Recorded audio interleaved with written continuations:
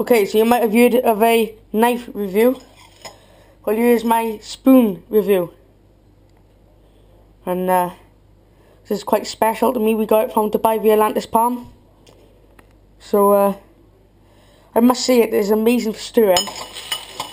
I mean, look at that. Oh. So, uh, that is my Atlantis Palm knife review slash spoon review. Thanks for watching.